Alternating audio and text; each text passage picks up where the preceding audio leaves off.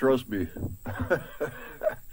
they will not get away with it. Trump is going to be president for four more years, and possibly even eight more years after, two more terms after. Um, I don't know if you know about Trump returned us to the Constitution instead of the corporation. So Trump is officially the last president of the corporation USA, and he's going to be the first president of the Constitution USA. I love him so much. I, I, God, I love that man. I would lay down my life for him in a heartbeat, or any of his family if, if I need to, ever needed to. Big time. I love them all so, so, so, so much.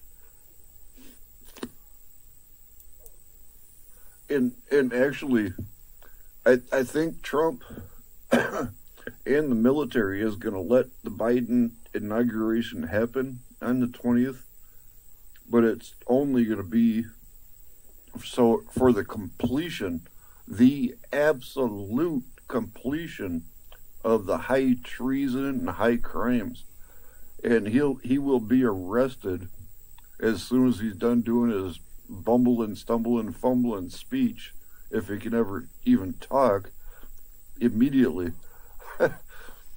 and yeah, Trump, like I said, Trump returned us to the Constitution instead of the corporation. So, and that means that the the the, the real inauguration time will be on March 5th. That'll be the new inauguration date. And he did the Insurrection Act, so that that literally means that he is not president at the moment until March 5th.